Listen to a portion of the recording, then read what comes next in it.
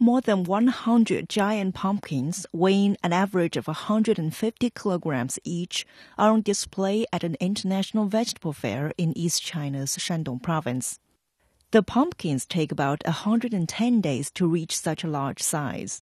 The heaviest can weigh up to 250 kilograms. Though they are already big enough, the pumpkins are still growing rapidly, with an increase of about 5 kilograms in weight per day. According to fair workers, it took about 10 years to develop this kind of pumpkin.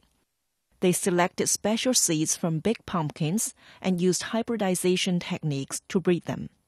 The giant pumpkins are the highlights of the vegetable fair.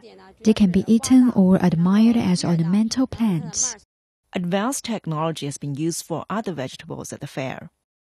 At another exhibition hall, vegetables are growing under LED lights instead of sunlight.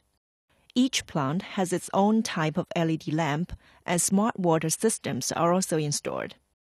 In another exhibition area, sweet potatoes and watermelons are growing in midair without soil.